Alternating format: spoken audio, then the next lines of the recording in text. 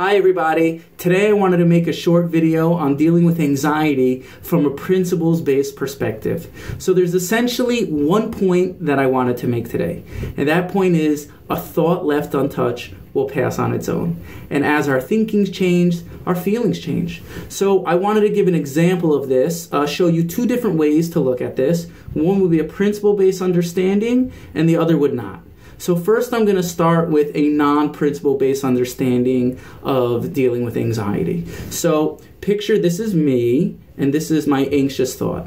And with every thought carries it with a feeling. So here would be a non-principle based understanding of this. La di da di da di da. Oh my gosh, I really don't like this. Oh, it's so overwhelming. I feel so anxious. This is so uncomfortable. Why am I always like this? I can't deal with it. Oh, I wish this would go away. Okay, that was example one when a person doesn't take into account the nature of thought as part of their experience. Now, here's example two a principle based understanding it. When a person just sees that their thoughts are like a wave or that they're constantly on the move, because a thought left untouched will pass on its own.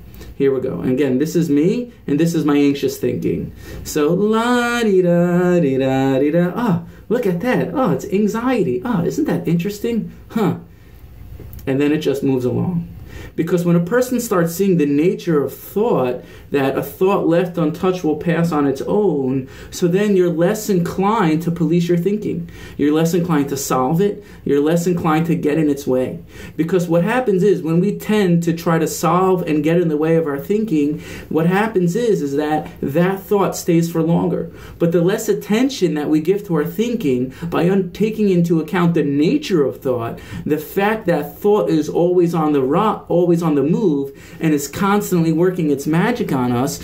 So then what happens is is that you're less inclined to get involved in your thinking because a thought untouched will pass on its own. And I wanted to share a quick example of this that happened to me, and I find this happens with a lot of people where this could be especially helpful in is falling asleep.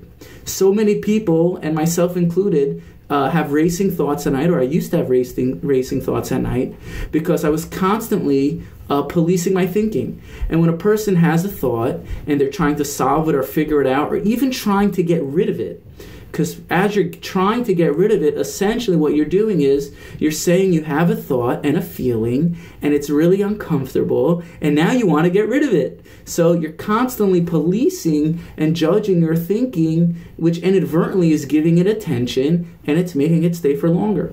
But when you understand the nature of thought, so then you're less inclined to get involved with your thinking and trying to solve it. So I used to have a difficulty, as I was saying, I used to have difficulty falling asleep.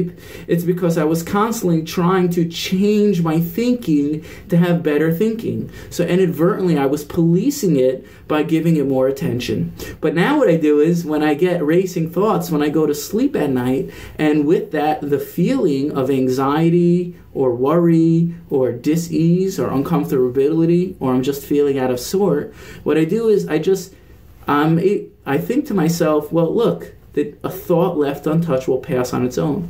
No feeling lasts forever. But when we're constantly giving our feelings and thoughts attention, so then it tends to stay for longer. But if you just leave your thinking alone and allow it to pass, so as that thinking passes, the feeling will pass as well, and something else will come into your mind, and it makes it much easier to fall asleep and much easier to deal with anxiety. So I hope that was helpful to everyone, and have a good one.